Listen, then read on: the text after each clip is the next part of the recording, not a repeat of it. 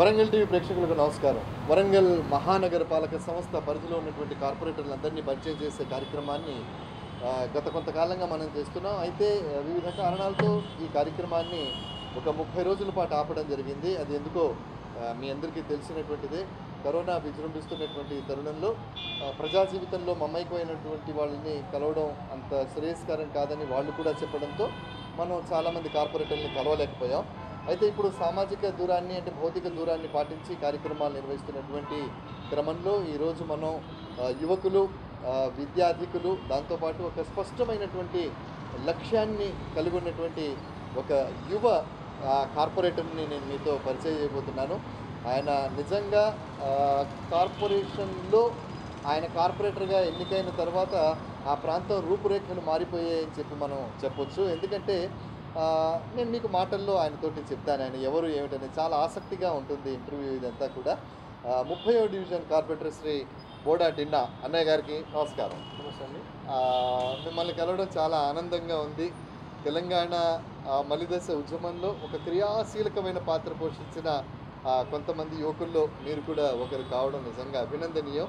ముప్పై డివిజన్కి కార్పొరేటర్గా మీరు రావటం అందులోనూ ఏమిటంటే తెలంగాణ వచ్చిన తర్వాత కొలువు తీరినటువంటి మొదటి కౌన్సిల్ అది దాంట్లో మీరు కార్పొరేటర్గా వెళ్ళడం ఒక ఉద్యమ నేత. చాలా real it's great opportunity for you మీ ప్రాంతం మీ పరిధి ఏదే ఉంటుంది? ముప్పై డివిజన్ అంటే. ముందుగా వరంగల్ టీవీ నిర్వాహకులకు హృదయపూర్వక ధన్యవాదాలండి. నేను ఇంతకుముందు సోదరుడు అన్నప్పుడు నా ఉద్యమ సహచరణాన్ని కూడా చెప్పుకోవచ్చు. ఎన్నో సందర్భాల్లో కొన్ని వందల మీటింగ్లలో వందల సందర్భంలో నా తోటి అన్నగారు నాకు వెన్నంటే ఉండి ఉద్యమంలో చాలా సపోర్ట్గా నిలిచినందుకు వారికి కూడా నా పక్షాన వారికి హృదయపూర్వక ధన్యవాదాలు తెలుపుతూ నాది greater Warangal thirtieth division Peddammagadda Kakatiya colony Raipura Enugulagadda Yadav Nagar Krishna colony Jyotibas Nagar గుడిసెలు అలానే జయశంకర్ కాలనీ. ఇవన్నీ కలుపుకొని సుమారు పదిహేను వందల పదిహేను వేల ఎనిమిది వందల అరవై మూడు మంది పాపులేషన్ ఉన్న ఏరియా. అది ఓటర్స్ మాత్రము పన్నెండు వేల చిల్లర వస్తారు. మొత్తం ఎస్సీ రిజర్వ్డ్ డివిజన్ ఇది గత పాలకుల నిర్లక్ష్యం వల్ల చాలా వెనుకబడిన ప్రాంతం. దేవుని దయ వల్ల మరి మా స్థానిక ఎమ్మెల్యే వినయ్ భాస్కర్ గారి ప్రోత్సాహంతో సీఎం కేసీఆర్ గారు కేటీఆర్ గారు అలాగే హరీష్ గారు వాళ్ళందరూ కలిసి నన్ను కార్పొరేషన్లో నిలబడాలని ముందే యాభై ఎనిమిది డివిజన్లలో నన్ను number one first B form ఇచ్చి ప్రపోజల్ చేసింది వారేనని వారికి హృదయపూర్వక ధన్యవాదాలు తెలుపుతున్నాను. నిన్న గారు మీరు అసలు ఎప్పుడైనా చదువుకునే రోజుల్లో నేను పాలిటిక్స్లోకి వస్తాను నేను ఒక రాజకీయ నాయకుడిని అవుతాను ఒక ప్రాంతానికి ప్రాతినిధ్యం వహిస్తానని ఎప్పుడైనా అనుకున్నారా మీరు? అట్లా ఎప్పుడు అనుకోలేదండి వాస్తవంగా కూడా ఎప్పుడు అనుకోలేదు కానీ బిజినెస్ మీద బాగా ఆసక్తి ఉండే నాకు. బిజినెస్ చేయాలి బిజినెస్ చేయాలని నా ఫ్రెండ్స్ చాలామంది క్లోజ్ ఫ్రెండ్స్ అందరూ అబ్రాడ్ వెళ్ళి ఉండే అప్పుడు. ఆ, టైంలో నేను ఇంకొక ఫోర్ ఫైవ్ ఇయర్స్ తర్వాత బిజినెస్ పెట్టుకున్నాంలే అనే టైంలే నేను second year third technic polytechnic చదువుకున్న పీరియడ్లో two thousand two thousand one పీరియడ్లో. అప్పుడు జయశంకర్ సార్ గారు కొంచెం మా అన్న వాళ్ళకు చాలా క్లోజ్ ఉండే. సార్ను కలవడము తర్వాత జనార్దన్ రావు బిఆర్ జనార్దన్ రావు సార్ను అప్పుడప్పుడు యూనివర్సిటీ పోయి కలవడము చిన్నపిల్లలమే మేము. సెకండ్ ఇయర్ థర్డ్ ఇయర్ చదువుతున్నాను నేను. తరం తరము తెలంగాణ ఇట్లా పెడుతుండ్రు ఇట్లా పార్టీ పెడుతున్నది అన్నప్పుడు రెండు వేల ఒకటి అనుకుంటా అప్పుడు. అప్పుడు టీఆర్ఎస్ పార్టీ కేసీఆర్ గారి నాయకత్వంలో టీఆర్ఎస్ పార్టీ వస్తుంది అన్నప్పుడు కేసీఆర్ గారి అసెంబ్లీలో స్పీచ్లు చాలా వినేవాడిని నేను. తెలంగాణ గురించే కానీ అప్పుడు నేను స్టూ స్కూల్లో కాలేజీలో కొంచెం ప్రశ్నించే తత్వం బాగుంటుండే. లీడర్షిప్ క్వాలిటీస్ కూడా అప్పుడు కూడా ఉంటాయి. మా స్కూల్ టీచర్స్ వాళ్ళందరూ కూడా స్కూల్ టీచర్గా క్లాస్ టీచర్గా కొంచెం ఎంకరేజ్ చేస్తుండే. కొంచెం తెలంగాణ అంటే ఒక పిచ్చి అదిగా ఒక ప్యాషన్. చిన్నప్పటి అది ఎందుకు ఎట్లా నర నరాలు అవుతుంది. దాంట్లో ముఖ్యంగా ఏంటంటే కేసీఆర్ గారి ఆ స్పీచ్ ఆయన మాటలు అప్పుడు పేపర్ ఎంత టెక్నాలజీ సోషల్ మీడియా లేకుండా అప్పుడు ఇప్పుడు పేపర్లు వస్తే కానీ ఇప్పుడు అసెంబ్లీలో వింటే కానీ ఇట్లా అన్నాడట అట్లా అంటాడట వాటి బాగా ఆకర్షితుంది ఆయన ఫస్ట్. అందులో ఇక టీఆర్ఎస్ పార్టీ పెట్టినప్పుడు కెప్టెన్ లక్ష్మీకాంతారావు గారు దగ్గరికి అప్పుడు నన్ను పిలిపించి ఇక కమిటీలు వేస్తున్నప్పుడు అప్పుడు కోల జనార్దన్ గారు జిల్లా అధ్యక్షులు అమరేందర్ రెడ్డి గారు అర్బన్ అధ్యక్షులుగా ఉంటుండే. గుడిమల్ల రవికుమార్ గారు మా యూత్ ప్రెసిడెంట్ ఉండే. అంతకుముందు ఫస్ట్ దయాకర్ గారు ఉండే. నేను రెండు వేల ఒకటిలో నా డివిజన్ అప్పుడు పద్దెనిమిదో డివిజను ఆ డివిజన్ యూత్ ప్రెసిడెంట్గా చేస్తున్నాను తనంతరం కెప్టెన్ సాబ్ వాళ్ళ ఇంటికి మళ్ళీ పిలిపించుకొని ఇప్పుడున్న హైదరాబాద్ మేయర్ గారు అప్పుడే బీజేపీలోకి వెళ్ళి వచ్చి పెద్ద ఎత్తున జాయిన్ ఉన్న తరుణంలో సారు విద్యార్థులను బాగా ఎంకరేజ్ చేస్తుండ్రు. ఉద్యమాన్ని విద్యార్థుల్లో కలుపుకొని చేయాలన్నప్పుడు నన్ను అప్పుడు ఎవ్వరు లేకుండే. అప్పుడు బీజేపీ ఎమ్మెల్యే ధర్మన్న ఎవరు ఉంటుండే ఇక్కడ అమ్మకొండలో. అప్పుడు నన్ను విద్యార్థి విభాగం సిటీ ఇన్ఛార్జ్ చేసిండే. Two thousand three or four ఆ టైంలో. తర్వాత సెవెన్ ఎయిట్ వచ్చినప్పుడు నైన్ క్రియాశీలకంగా రెండు వేల ఏడు నుంచి ఇంకా ఇక బాగా అప్పుడే మా పైన తెలంగాణ కేసులు కానీ అప్పుడు లగడపాటి కేసీఆర్ కానీ అనడం అట్లా అట్లా బంధువులలో పాల్గొనడం ఇక ట్వంటీ ఫోర్ ఇంటూ సెవెన్ ఉద్యమంలో పూర్తిగా ఉద్యమానికి అంకితం. అంకితం యోనా గారు నేను చాలా కార్యక్రమాల్లో నేను మిమ్మల్ని చూస్తుంటాను. ఏదైనా ఒక విషయాన్ని గురించి మాట్లాడేటప్పుడు ఒక పరిపూర్ణమైనటువంటి అవగాహనతో మీరు మాట్లాడతారు. ఏదో సరదాగా వచ్చాం వెనక బ్యానర్ చూసి మాట్లాడాం అన్నట్టుగా కాకుండా నాకు అందులో మీ మీ మీద అంబేద్కర్ భావజాలం ఎక్కువగా కనబడుతూ ఉంటుంది. సమీకరించు బోధించు పోరాడు అనేటటువంటిది. అంటే మీరు బాగా చదువుతుంటారా? బాగా చదువుతున్నాను కానంటే క్లాసులు వినేది నేను అప్పుడు బాగా. కొంచెం లెఫ్టిస్ట్ భావాలు అంటే అట్రాక్ట్ అవుతుండే బాగా. అంబేద్కర్ గారి బుక్స్ చదువుతుంది జ్యోతిరావు పూలే గారి బుక్స్ కానీ కానీ అలాగే మన తెలంగాణ చరిత్ర. టైం దొరికినప్పుడల్లా చదువుతుండే మీలాంటి పెద్దవాళ్ళు ఎవరైనా రిటైర్డ్ అయిన వాళ్ళతో నేను ఈవినింగ్ టైం చాలా అప్పుడు స్పెండ్ చేస్తుండే. ఇక వాళ్ళు చెప్పే వాటికి ఈ కేసీఆర్ గారి మాటలకు ఇవన్నీ బాగా ఇంపాక్ట్ అయినాయి నాకు. ఒక మైండ్లో పెట్టిపోయినాయి ఓహో ఇదా ఇట్లా నా తెలంగాణ వస్తే ఇట్లనా ఇట్లనా ఇట్లనా నా బాగుండే నాలెడ్జ్ ఏంటి అని అంటే బైగా నేను గవర్నమెంట్ ప్రాక్టీస్ స్కూల్ చదువుతుండే కొంచెము డెప్త్గా భావాలు నేర్పించేది ఏ స్కూల్ అయినా గవర్నమెంట్ స్కూళ్ళల్లో సరే ఇప్పుడు ఎట్లుందో తెలియదు కానీ అప్పుడైతే భావాలు కలిగిన బో- బోధన ఉంటుండే. అప్పుడు తరంతరం వినయన్న రెండు వేల నాలుగు ఎలక్షన్లో అతి కొద్ది ఓట్లతో ఓడిపోయినప్పుడు టీఆర్ఎస్లోకి వచ్చిండు. అప్పుడు సిటీలు ఇంకా బాగా టీఆర్ఎస్ మయమైపోయింది అప్పుడు. రెండు వేల తొమ్మిదిలో నాకు అర్బన్ గ్రేటర్ వరంగల్ కాకముందుకు అర్బన్ ఉండే. అర్బన్ సిటీ యూత్ ప్రెసిడెంట్ ఇచ్చిండు. ఇక రెండు వేల తొమ్మిది ఉద్యమం స్టార్ట్ అయినప్పటి ఇంకా క్రియాశీలకంగా పాల్గొనడం జరిగింది. మీరు ప్రాతినిధ్యం వహిస్తున్నటువంటి ప్రాంతం ఏదైతే ఉందో అది పెద్దమ్మగడ్డ ఆ పెద్దమ్మగడ్డ ప్రాంతం అంటే నేను లోకల్ వాడినే కాబట్టి కానీ కాబట్టి మనం నిర్మోహమాటంగా చెప్పుకోవాలి. చీకటి పడితే ఆ ప్లేస్ నుండి వెళ్ళడానికి చాలామంది భయపడేది. పెద్దమ్మగడ్డ నుండి పోవడం ఎందుకులే హనంకొండ చౌరస్తా నుండి తిరిగిపోదామని ఆ పక్కన ఉన్నప్పటికీ కూడా అంతా తిరిగిపోయేది. అంటే ఎందుకో ఒక రకంగా సైకలాజికల్గా అట్లా ఉండేది. ఆ ప్రాంతానికి కార్పొరేటర్గా మీరు వచ్చిన తర్వాత అది పెద్దమ్మగడ్డ కాస్త ఆత్మీయుల అడ్డాగా మారిపోయింది. ఆ మాటని ఇక్కడ నుండి బదిలీ మీద వెళ్ళిన కమిషనర్ గారు చెప్పారు. సుధీర్ కుమార్ సార్ చెప్పడం జరిగింది. మీరు బస్తీ బాట కార్యక్రమం పెట్టినప్పుడు. అక్కడ ప్రజలలో మార్పును తీసుకురావడానికి ఆ, మీరు ఏం చేశారు మీరు? ఇప్పుడు చాలా ఆత్మీయంగా ఉంటుంది ఆ ప్రాంతం.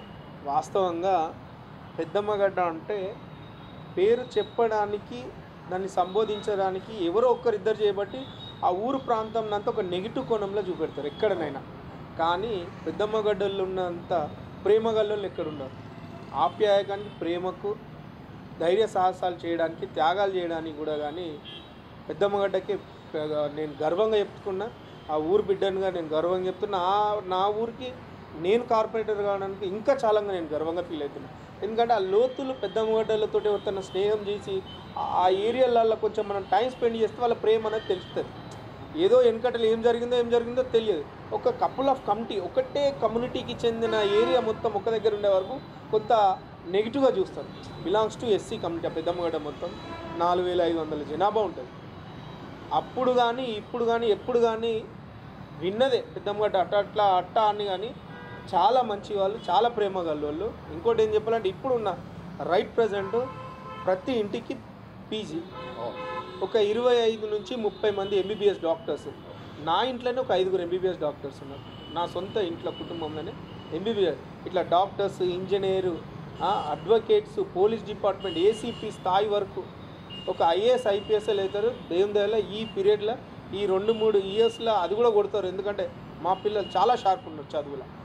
అంతే తప్ప ఆ కమ్యూనిటీ అంతా ఒకటే వరకు అయ్యో పెద్ద మొండ పెద్ద మొండ అనేది తప్ప ఏమి నెగిటివ్ లేదు. చాలా మంచి వాళ్ళు వాళ్ళంతా నిస్సందేహంగా పెద్దమ్మ గడ్డ అందుకే అన్నాను. ఆత్మీయుల అడ్డాగా అడ్డాగా మారిందా? చాలా సంతోషం. అప్పుడు నేను కార్పొరేటర్ అయినాక అరే ఎందుకు ఇట్లా ఊకే చెడు పేరు వస్తుంది?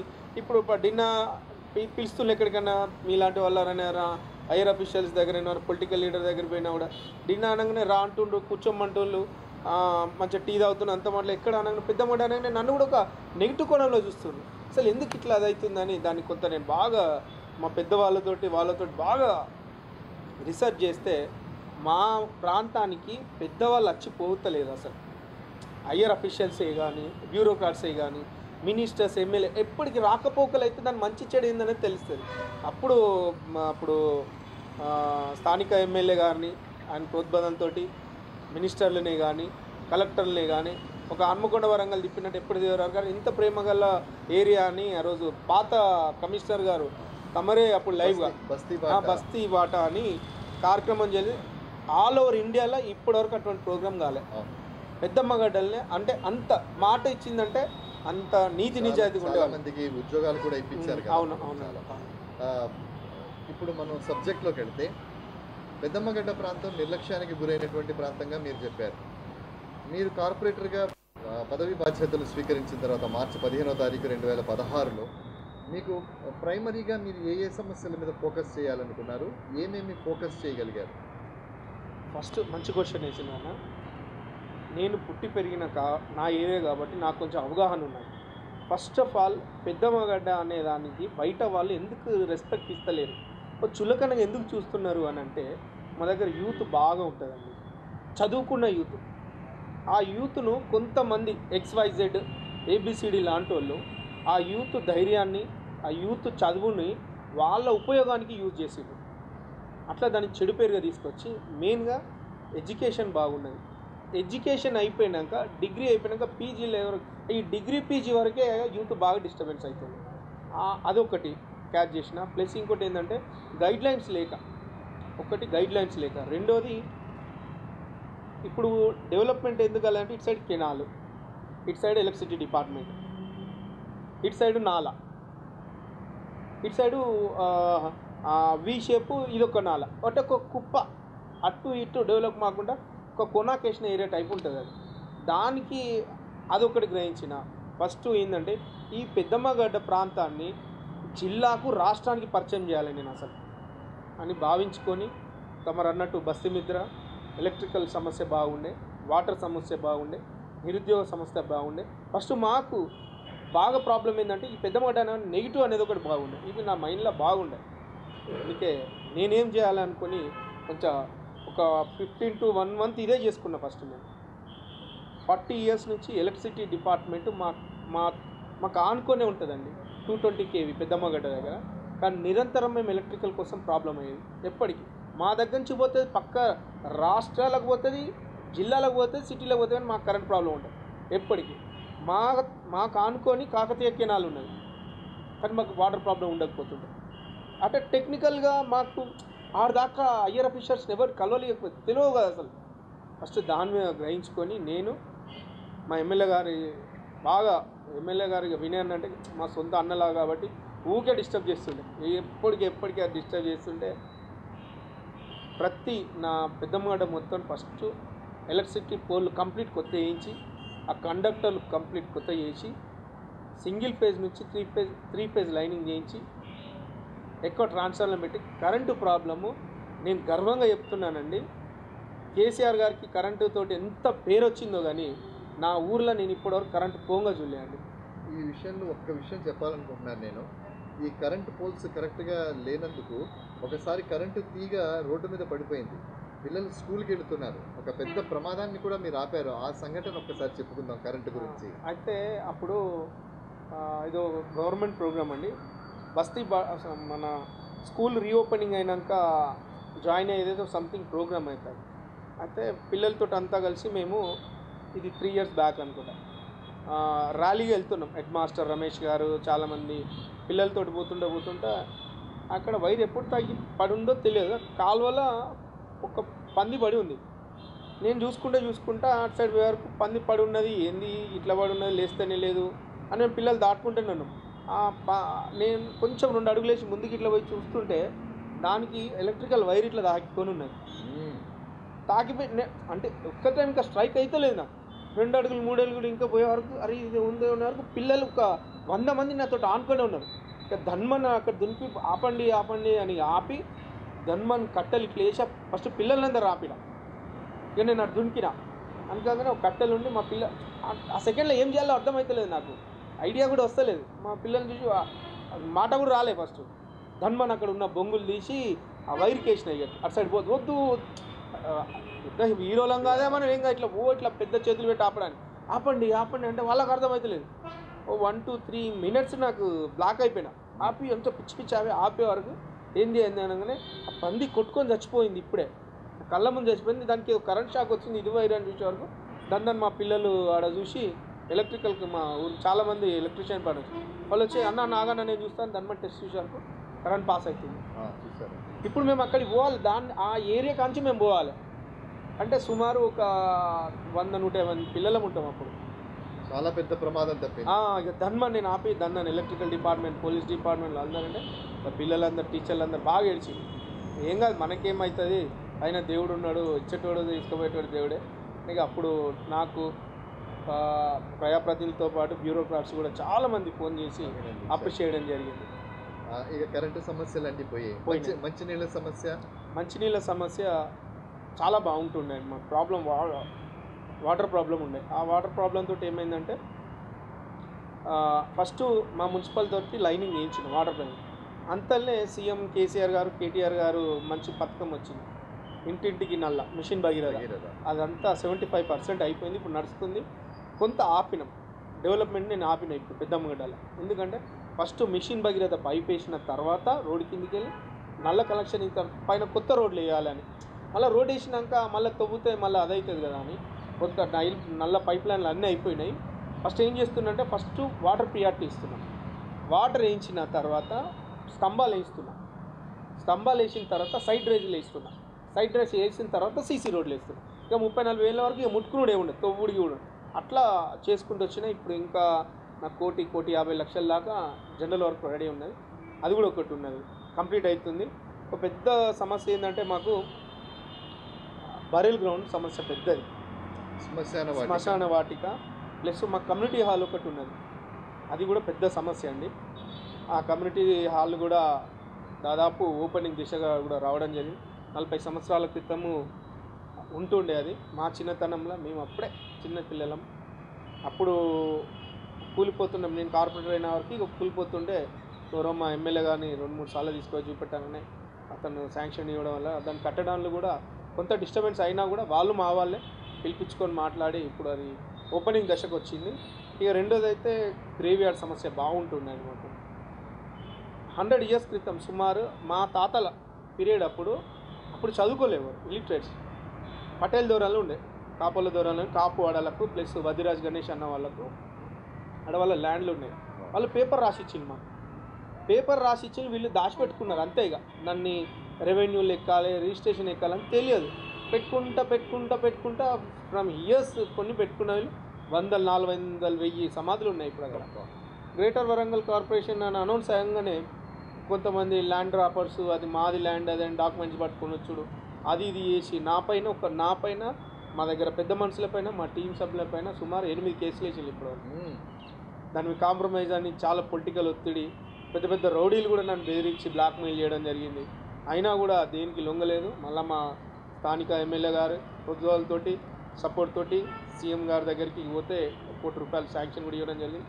కొంత టెక్నికల్ ప్రాబ్లం. ఈ రోజే ఆ ఫండ్ సరిపోతలే టెక్నికల్గా ప్రాబ్లం వస్తుంది. ఈ రోజే మున్సిపల్గా అరవై ఒక్క లక్ష కేవలం గ్రేవీ యార్డ్కే శాంక్షన్ చేసుకున్నాయి ఈ రోజే ఈ రోజే వైకుంఠధామం వైకుంఠధాం వైకుంఠధామం పెద్దమ్మగడ దళిత మా మాది గల సమాధతోటి అని ఇప్పుడు ఆర్ఓఆర్ పాహాని పట్టాలు ఎక్కినాం ఇప్పుడు లీగల్గా.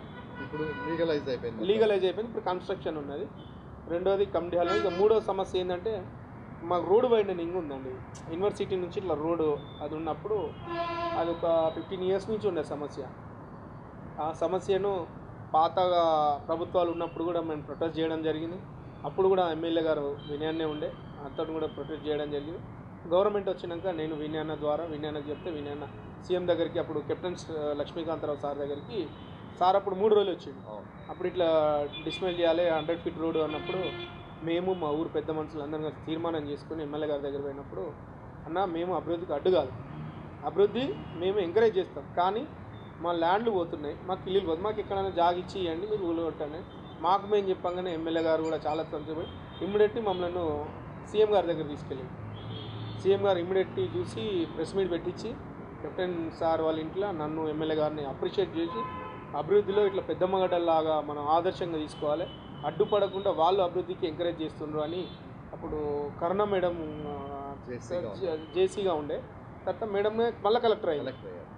ఆ మేడంకి చెప్పి ఆ వీళ్ళకి ఇక్కడ ల్యాండ్ ఇచ్చి ల్యాండ్ ఇవ్వాలన్నప్పుడు ఒక వన్ సిక్స్ మంత్స్ తిరగంగానే నిర్మిత్ కేంద్రం దగ్గర మాకు ఒక ల్యాండ్ వచ్చింది సూపర్ నిర్మితి కేంద్రం. నూరు పేరు దగ్గర వన్ అండ్ హాఫ్ ఎకర్ ఏమో వచ్చింది దాని తర్వాత మళ్ళీ ఏం చేసినామంటే ల్యాండ్ తోటి సరిపోదు మాకు డబుల్ బెడ్రూమ్ కావాలి అది అని అంటే చనువు వాళ్ళతో ఉన్నది కాబట్టి ఆ, వాళ్ళు కూడా లేక ప్రేమతోట ఊకే అది చేసి వినయ్ అన్నను వినయ్ అన్న కేటీఆర్ అన్నను సీఎం అన్ను నేను ఎంత వినయ్ అన్న మీద ప్రేయర్ పెడితే వాళ్ళ అన్న పోయి అక్కడ వాళ్ళ చేసి మాకు డబుల్ బెడ్రూమ్ కూడా మొత్తం శాంక్షన్ చేయడం జరిగింది. ఆ నాలా కాడ కొంచెం కల్వర్ట్ కట్టడం వల్ల లేట్ అయింది అది. ఇప్పుడు వరంగల్ మున్సిపల్ కార్పొరేషన్ పరిధిలో ప్రతి కార్పొరేటర్కి ప్రతి సంవత్సరం ఇంత ఫండ్ అని చెప్పేసి అలాట్ చేస్తారు కదా. మీకు ఈ ఐదు సంవత్సరాల కాలం అంటే ఇంకొక రెండు మూడు నెలల్లో ఐదు సంవత్సరాలు పూర్తవుతుంది. మీకు ఎంత ఫండ్ వచ్చి ఉంటుంది? ప్రధానమైనటువంటి ఖర్చు దేని మీద చేశారు మీరు? నేను పెద్దమ్మగడ్డతో పాటు కాకతీయ కాలనీ ఉంటుందండి. ఒడ్డర్ బస్తీ ఉంటుంది. దాన్ని ఎవరు ముట్టుకోలే. ముస్లిం కమ్యూనిటీకి రాయ్పుర అని ఉంటుందండి. చాలా పెద్ద కమ్యూనిటీ అది. చాలా నాకు ఆత్మ బాగా ఫ్రెండ్లీగా ఉంటాను నేను వాళ్ళందరూ. అసలు నలభై యాభై సంవత్సరాల నుంచి అక్కడ అభివృద్ధి లేదు. ఆ ఏరియాలో రాయ్పూర్ అనే ఏరియాలో ఒక్క సింగిల్ కాల్వ ఒక్క రోడ్ వేసిన తాకలేదు. వాటన్ని కాలనీ మొత్తం రోడ్లు సీసీ రోడ్లు అలాగనే కండక్టర్లు అంటే వైర్లు పోల్లు అవన్నీ వేయడం జరిగింది. తర్వాత కాకతీయ కాలనీలో కూడా కొంత డెవలప్మెంట్ చేసిన ఇంకో కొంత ఉన్నది. ఒడ్డర్ బస్తీ సిక్కువాడ కూడా డెవలప్మెంట్ ఒకటి కమ్యూనిటీ హాల్ డెవలప్మెంట్ ఉన్నది ఒకటి. గ్రేవ్ యార్డ్ ఒడ్డర్ బస్తీ గ్రేవ్ యార్డ్ రెండోది ఏనుగులగడ ప్రాంతం అని ఉంటుందండి. మెయిన్ చౌరస్తలు ఉంటుంది ఏనుగుల అది ఒక పది గజాలు పదిహేను గజాలు ఎనిమిది గజాల ఇల్లులు కూడా ఉన్నాయి అది. దాన్ని మేము ఎమ్మెల్యే గారు తీసుకొచ్చి ఒక కమ్యూనిటీ హాల్ దాన్ని ఓపెన్ చేయడం జరిగింది. అప్పుడు కాకతీయ వ్యాయామశాల అని ఉండే చరిత్రాత్మకమైన కాకతీయ శాల. దాన్ని ఎంపీ వినోద్ కుమార్ గారు. సారు చిన్నప్పుడు అక్కడనే కిరాయికుండేనట డిన్నర్ ఇట్లా ఉన్నది అన్నప్పుడు చెప్పినప్పుడు ఒక ఆరు నెలల తర్వాత సార్ని గెస్ట్గా పిలిచి ఎమ్మెల్యే గారు అక్కడ పెట్టించి సుమారు కా రోడ్లు కాలువలు ఇప్పుడు రోడ్లన్నీ మంచిగా అయిపోయినాయి. వాటర్ ప్రాబ్లం కరెంట్ ప్రాబ్లం లేకుండా ఎనుగులు కూడా అయింది. కృష్ణ కాలనీలో ఒక కోటి రూపాయలు పెట్టి డెవలప్మెంట్ చేయడం జరిగింది. ప్లస్ ఇంకోటి గుడిష ప్రాంతం ఉంటుంది నాకు. ఆ, పొత్తన్న కాలేజ్ పక్కనే జ్యోతిబస్ కాలనీ అని ఉంటుంది. మూడు వందల యాభై గుడిసెలు ఉంటాయి. అప్పుడు నాలుగేళ్ళ క్రితము మన ఇరిగేషన్ డిపార్ట్మెంట్ వాళ్ళు రెవెన్యూ డిపార్ట్మెంట్ వాళ్ళు వచ్చి పూల కొడుతుంటే నేను ఎంబడే ఎమ్మెల్యే గారు చెప్పాను. ఎమ్మెల్యే గారు రాత్రి రాత్రి ఉటాను వచ్చి వాళ్ళందరితో మాట్లాడ గుడిసెలు తీయకండి. వాళ్ళకి నిరుపేదలని వాళ్ళతో ఆపిచ్చి వాళ్ళతో ఒప్పించి టెంపరీగా వాళ్ళకు హౌస్ హోల్డ్ నంబర్ కూడా ఇప్పడం జరిగింది. ఆ కాలనీలో మొత్తం కరెంటు వైరింగ్ అయిపోయింది. ఆ కాలనీలో ఇప్పుడు రోడ్లను సీసీ రోడ్లే వేసేది. ఇప్పుడు కొబ్బరికాయ కొట్టి రెడీ ఉంది. భిన్నా గారు గత ఇరవై ఇరవై ఐదు సంవత్సరాల క్రితం వచ్చినంత వరదలు ఈసారి వచ్చినాయి. మీ ప్రాంతం ఎంతవరకు ప్రభావితమైంది? మా ప్రాంతము చాలా ప్రభావితమైంది. ఎందుకంటే భద్రకాళి చెరువు దగ్గర నుంచి అంటే ములుగు రోడ్ బ్రిడ్జ్ దగ్గర నుంచి అక్కడి నుంచి కాకతీయ కాలనీ ఒడ్డర్ బస్తీ అందులోకి వెళ్ళి Kakatiya colony phase two Peddammagadda మీదకి వెళ్ళి ఆ నాలా పోతుంది. ఆ నాలా అసలు హండ్రెడ్ ఉండే పెద్ద ఉండే మా చిన్న అదంతా అది రాను రాను రాను రాను ఇంత అంత అయిపోయింది.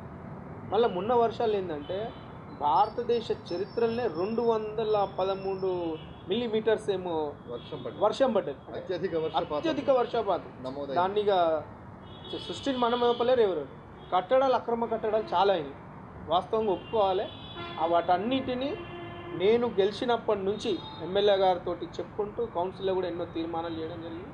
ఇప్పుడు అవన్నీ డిస్మెంటల్ అవుతున్నాయి దాదాపు అందరు కొంతమంది నాకు శత్రువులు కూడా చాలామంది తయారైన ఇలా అయినా కూడా నేను మనస్పర్గా చాలా హ్యాపీగా ఉన్నాను పది మందికి నష్టమైనా కానీ వెయ్యి మందికి అయితే లాభం జరుగుతుంది. అక్కడ ఒడ్రు వస్తే చిన్న చిన్న గుడిసెలు వేసుకుంటారు వాళ్ళందరూ నీళ్ళలో నిండిపోయి వాళ్ళందరినీ పక్క ఫంక్షన్ హాల్ల పక్క వేరే బిల్డింగ్లలో పెట్టి వాళ్ళకు భోజనాలు గిన ఎమ్మెల్యే గారు మేము దగ్గర ఉండి అరేంజ్ చేయడం జరిగింది. అటువంటి ప్రాబ్లము నేను పుట్టినప్పటి నుంచి అయితే రాలేదండి. నిన్న గారు చాలా సామాజిక మాధ్యమాల్లో మనం చూసాం. మంత్రి గారు వచ్చి హడావిడి చేసి వెళ్ళిన తర్వాత ఏదో నామకే వాస్తే కూల్చివేతలు జరుగుతాయి. మళ్ళీ మామూలుగా రొటీన్ అయిపోతుంది అని. అలాంటి పరిస్థితుల్లో మళ్ళీ పునరావృతం అవుతాయి అంటారా? మీ ప్రాంతానికి వచ్చే వరకు. లేదు లేదండి. ఇప్పుడైతే అటువంటి ప్రాంతాలు అటువంటి అసలు అసలు దానికి చాయిసే లేదు. ఎందుకంటే మినిస్టర్ గారు ఆన్ బిహాఫ్ ఆఫ్ అన్ని పొలిటికల్ లీడర్స్ని పక్కన పెట్టి ఒక బ్యూరోక్రాట్స్ అఫీషియల్స్ తోటే కలెక్టర్ గారి అధ్యక్షన ఒక కమిటీ వేసింది. మంచిగా నడుస్తుంది అది. వాస్తవంగా ఇప్పుడు జరుగుతుంటే కొంత లోకల్గా ఉన్న పొలిటికల్ లీడర్లకు ప్రాబ్లం అవుతుంది. కానీ మేము మనల్ని తిట్టుకుంటారు తిట్టుకొని పర్వాలేదు. ఇప్పుడు కూడా నేను వస్తుంటే ఇది ఇది ఏదంటే వాళ్ళు అంటే పాతకాలంలో కట్టుకున్నారు నాలాను మట్టి పోసి కట్టుకున్నారు. లేవట్లు మట్టి పోయడము ఆడ కన్స్ట్రక్షన్ చేయడం హౌస్ నెంబర్ తీయడం. నేను వచ్చిన కానీ అవన్నీ ఆపిన. లేకపోతే ఎంతోమంది చచ్చిపోయేటోళ్ళు. ఏముందో ఎవరు వల్ల ఎవరిదైతే ప్రాణ నష్టం జరగలే కానీ కొంత ఒక వన్ వీక్ వరకు అయితే కొంచెం ఫుడ్కు వాటర్ వీటికి అయితే కష్టం వచ్చింది నీళ్ళు వచ్చి ఈ ఈ పనులు త్వరగా కావాలి మీ ఆధ్వర్యంలో అని కోరుకుంటూ అలాగే ఆ, ఆరోగ్యానికి సంబంధించి ప్రజారోగ్యానికి సంబంధించి ఆ, పెద్దమగడ్డ అంటే ఊరే అంటారు. అదొక అలవాటు అయిపోయింది మాకు కూడా. ఆ ప్రాంతానికి ప్రాథమిక ఆరోగ్య కేంద్రం కూడా మీరు శాంక్షన్ చేయించారు. తర్వాత కోవిడ్కి సంబంధించినటువంటి పరీక్షలు కూడా అక్కడ చేస్తారు. ఇదంతా ఎలా జరిగింది? ఎలా చేయగలిగారు మీరు? అప్పుడు అంటే టెన్ ఫిఫ్టీన్ ఇయర్స్ బ్యాక్ క్రితము మాకు ఒకటి పెద్దమ్మగడ్డ అని పిహెచ్ సెంటర్ ఉంటుండే. మా పెద్దమ్మగడ్డ కొంచెం రోడ్డు మీద ఆనుకొని ఉంటుండే. అప్పుడు ఏం చేసిందంటే గత పాలకులు అది తీసుకొని పోయి వేరే ప్రాంతాల్లో పెద్దమ్మగడ్డ పేరు మీదే నడుస్తుంది. అప్పుడు ఎమ్మెల్యే గారు ప్రతిపక్షంలో ఉన్నారు. మేము ఇంకా ప్రజాప్రతినిధులు కానీ అప్పుడు సిటీ ప్రెసిడెంట్ ఎప్పటికి అడుగుతుండే ఎప్పుడు అడుగుతుండే అదృష్టం కొద్దీ ఆ కరుణా మేడము అప్పుడు మనకు ఇక్కడ జేసీగా ఉండే. మన ప్రభుత్వం వచ్చింది ప్రభుత్వం వచ్చిన తర్వాత మాకు సెంటర్ కావాలి. అది తీసుకొస్తారంటే పాపం వాళ్ళు గరీబోలే. వద్దు మాకు కొత్త సెంటర్ కావాలని నేను ఎమ్మెల్యే మీద ప్రెజర్ పెట్టడము. ఎమ్మెల్యే గారు కరుణ మేడం మీద పెడితే అప్పుడు మళ్ళీ మేడం కలెక్టర్ అయింది. కలెక్టర్ అయినాక మళ్ళీ నేను ఆ ఫైల్ పట్టుకుని ఊకే హైదరాబాద్ పోయి అటు ఇటు చేస్తే అదృష్ట కొద్దీ మేడం కమిషనర్ అయింది. Medical department.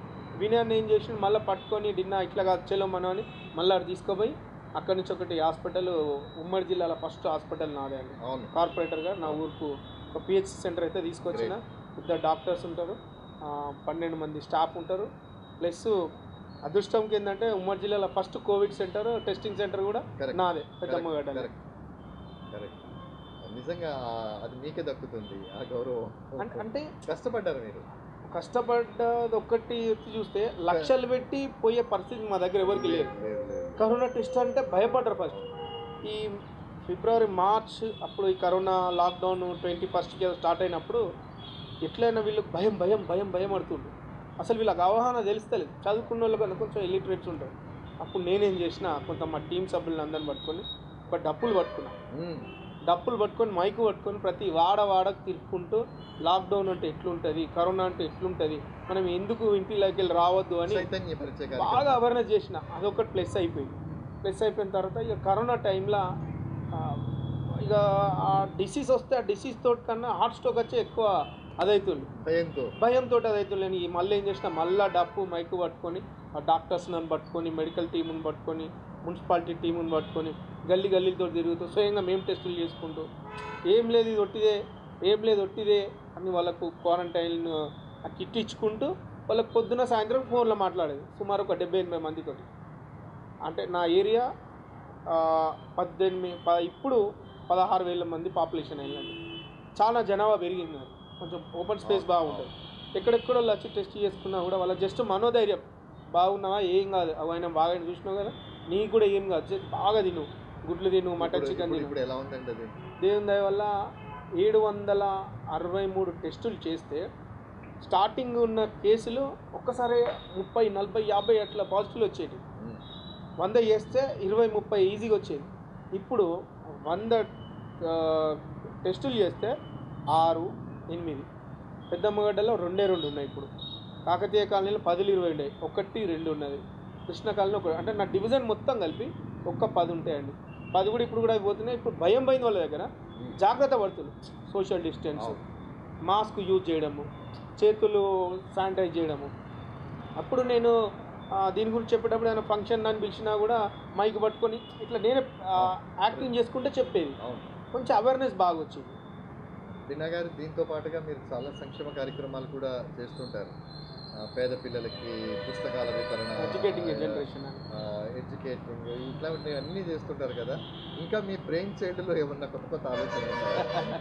ఆ, అంటే కొంత నా ఏరియా అంటే నాకు పిచ్చి అండి. బాగా అక్కడ ఏంటంటే డ్రాప్ అవుట్ స్టూడెంట్స్ బాగున్నారు. తమరు అన్నట్టు సుధీర్ కుమార్ సార్ ఉన్నప్పుడు అసలు ఎందుకు ఇంత అదైతుందంటే యూత్ బాగా ఖాళీగా ఉండడం వల్లనే ఇట్లా అవుతుంది అన్నప్పుడు వాళ్ళందరికీ జాబులు ప్రైవేట్ సెక్టార్లు అక్కడక్కడ కొంతమంది సెట్ చేసినాయి ఇది ప్రతి ఇయర్ కాగానే స్కూల్ స్టార్ట్ కాగానే ఇద్దరు ముగ్గురికి బుక్స్ బ్యాగ్స్ ఇచ్చి చేస్తుంటే అదేదో ఫోటో పోజ్ అనిపించింది. నాకు మంచిగా అనిపించలే. ఇది ఏంది ఒక్కరికి ఇద్దరికి ఇస్తున్నాం? ఇది ఇచ్చినా పోతే అందరు వస్తుండ్రు. అని ఏం చేసిన నా డివిజన్ మొత్తం సర్వే చేసిన. ఇంటింటికి పోయినా. బాబు మీ పాప ఏం చదువుతుంది? అంకుల్ మీ బాబు ఏం చదువుతుండు? అని ఇంటింటికి పోతే sixty five percent all over డివిజన్లో సిక్స్టీ ఫైవ్ పర్సెంట్ పిల్లలు స్కూల్కి పోతున్నారు మిగతా థర్టీ త్రీ పర్సెంట్ అందరూ స్కూల్కి పోతలేరు. డ్రాప్ అవుట్స్ ఎందుకు అదంటే కొంతమంది ప్రైవేట్ స్కూల్లో ఫీజులు కట్టలేక. ఇక కొంతమంది ఏంటంటే ఇప్పుడు జూన్ రాగానే బ్యాగులు బుక్కులు కొన ఒక ఐదు పదివేల ఖర్చు ఉంటుంది. అది పోక ట్వంటీ ఫైవ్ పర్సెంట్ ఉన్నారు. ఆహా ఇది కేవలం ఇది చేయబట్టే స్కూల్కి పోతలేరా?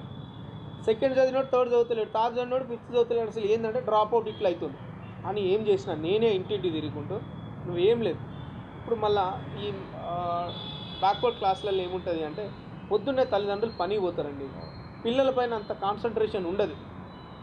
స్కూల్కి పోతుండా చదువుతుండా చేస్తుండా అనేది అయ్యో పుట్ట గడవాలి ఇల్లు నిండాలి పిల్లలు తినబెట్టాలి అనేది ఉంటుంది. చేస్తేనే లేస్తేనే పనికి పోవడం అది ఉంటుంది.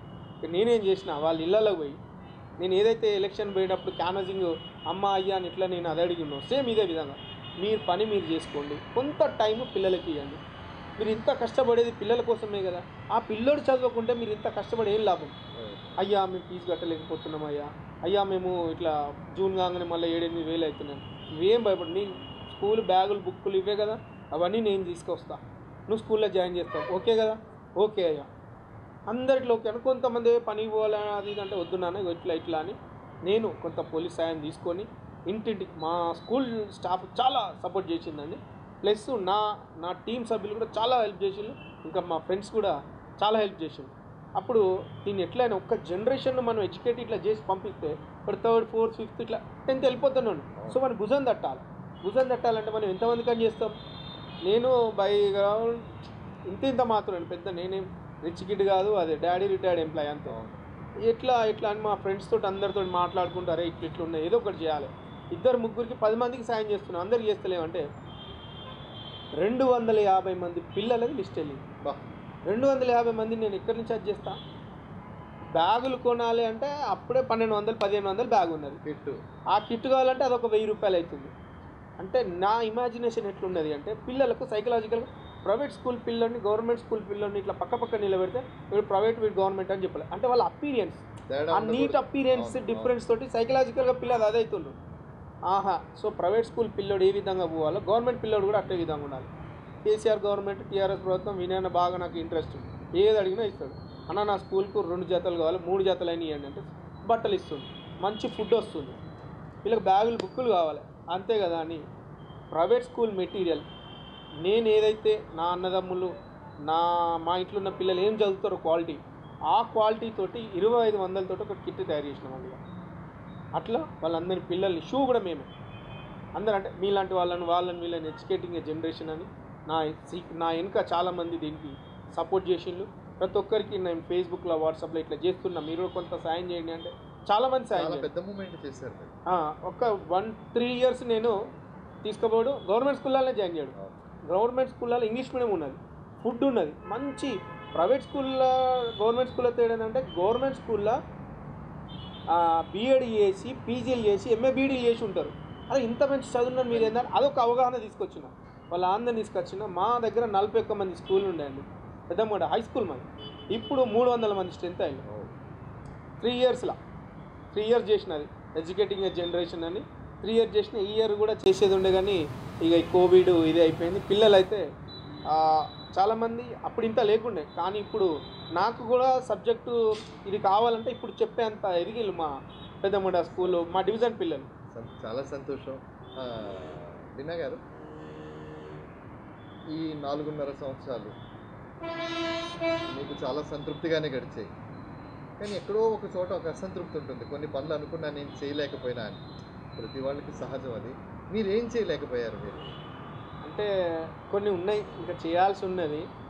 ఒక పెద్ద ఒక ఫంక్షన్ హాల్ అంటే ఫ్రీ ఫ్రీ ఆఫ్ కాస్ట్ కింద ఒకటి చేయాలని అనుకున్నా. ఇంకొకటి ఏంటంటే ప్రతి ఒక్క ఇంట్లో పిల్లలు ప్రతి ఒక్కరు చదువుకునే ఉండాలి. చదువుకున్న పిల్లడు ఖాళీగా ఉండదు అది నేను బాగా ఉద్యో- ఉద్యోగం ఉపాధి. ఉపాధి కావాలనుకున్నా. నా యాభై ఎనిమిది డివిజన్లో నా డివిజన్ నెంబర్ వన్ ఉండాలనేది ఒకటి. స్వార్థం స్వార్థం అనుకోండి ఇక. ప్రజలకు చేయాలని ఇంకా చాలా ఉన్నాయి. ఇన్నోవేటివ్ ఐడియాస్ వచ్చారు నాకు నా టీం సభ్యులు మా ఫ్రెండ్స్ చాలామంది సపోర్ట్ చేస్తూ ఉంటారు. నేను ఒక్కరిని అయితే కాదు. నిన్నకు ఇంత పేరు వచ్చిందంటే నా టీం సభ్యులు. నా విజయంలో నా పేరులో కూడా మొత్తం వాళ్ళ బాధ వాళ్ళు లేనిదైతే నేను లేదు సో అది ఒక విద్యార్థి నాయకుడిగా ఒక ఉద్యమ నాయకుడిగా ఉద్యమ నేపథ్యం కలిగినటువంటి శ్రీ గోడ డేటా గారు. ముప్పై డివిజన్ కార్పొరేటర్ని అన్ని రంగాల్లో అన్ని విధాలుగా తీర్చిదిద్దుతున్నటువంటి క్రమంలో వారు దానికి సహకరించిన అధికారులకి అలాగే ప్రజాప్రతినిధులందరికీ కూడా ఓటర్లకి డివిజన్ ప్రజలకి థ్యాంక్స్ చెప్తున్నారు డిన్నా గారు మళ్ళీ మీకు అవకాశం రావాలి. ఇంకా మంచి మంచి అవకాశాలు రావాలి అని ఆకాంక్షిస్తూ మీకంతా శుభమే జరగాలి. మీకు వరంగల్ టీవీ ప్రేక్షకుల పక్షాన నమస్సులు ధన్యవాదాలు. Thank you thank you